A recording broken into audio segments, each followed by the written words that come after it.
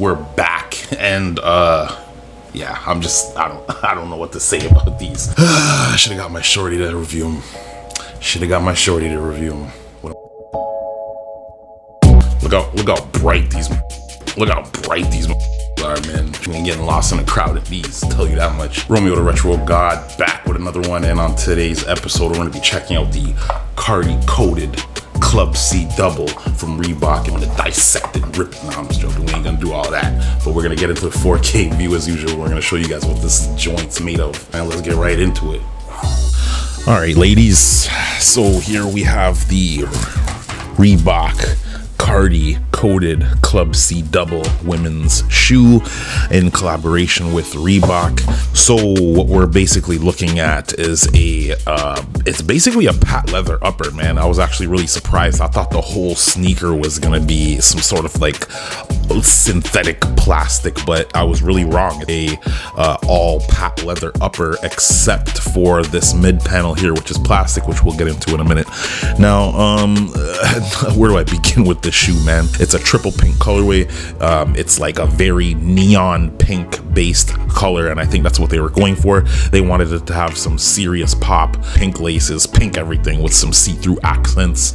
And we have a rubber cup sole that is basically a platform version of the original Club C. So, anyways, let's get a little bit closer and look at the details. Straight um, aeration holes on the toe box kind of have this stitching effect that comes across the shoe like that, and it's not actually holding any materials together. It's not like there's two pieces of patent leather that they're trying to hold together, at least not from my view here. It looks like it's just a stitching that they're using strictly for aesthetic purposes. I will say though that if you can look at the cut of leather that they're using, it's actually really, it's actually a nice thick cut of leather. So, I mean, they're not skimping on the materials.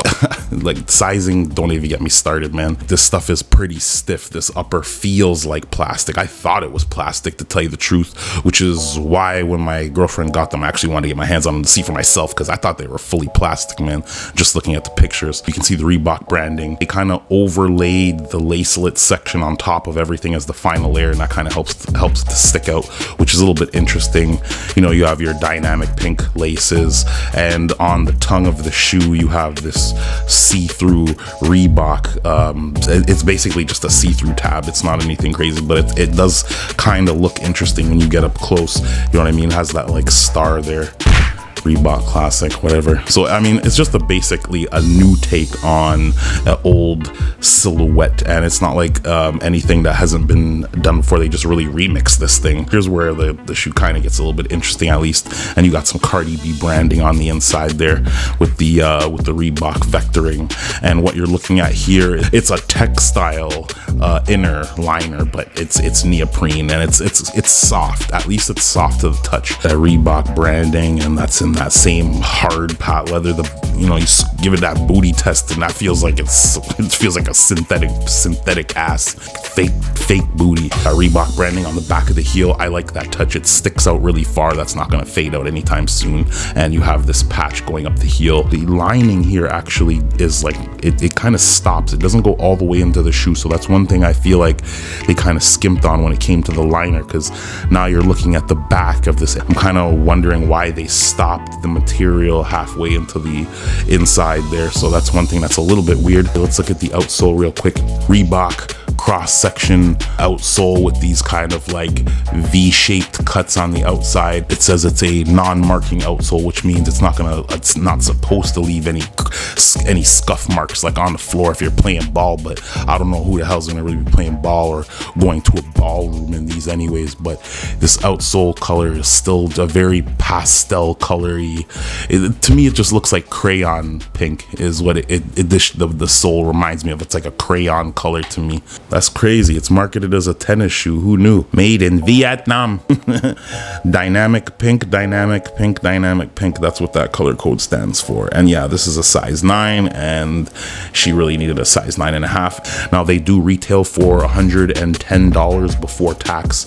Reebok.ca, and there's plenty of sizing available, all the way from five to size nine and a half. So you guys can pretty much get these if you want to. You know, you got your tag there, Reebok Club C double, and As I said, this is a rubber double cup sole Prada Cardi, man. She came up. People was clowning her, you know what I'm saying? Her and Offset getting clowned all the time and all that.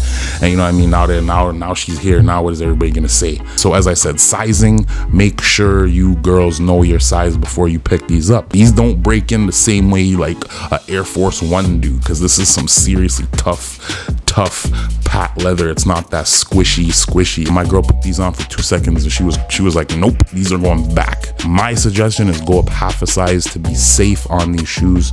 And I mean, for the price point 110, you're not gonna find anything much more bright on the market. That's the Cardi coated Club C double wins shoe made in collaboration with Cardi B. So if you girls are like my girlfriend, you guys will end up buying these shoes just because they look pretty. Like they look pretty, they're shiny. I like shiny.